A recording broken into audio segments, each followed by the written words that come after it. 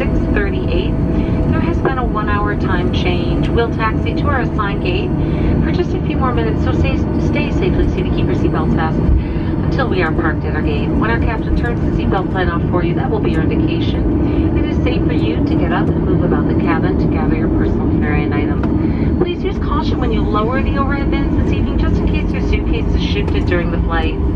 Feel free to use your mobile device while we taxi to our gate.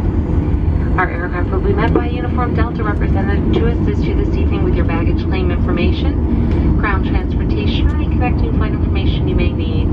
On behalf of Delta Airlines, our Sky teams and global alliances around the world, and most especially your Atlanta-based in-flight crew, thank you for being here this evening. We hope you have a wonderful weekend spent here in Nashville or wherever your final destination may take you.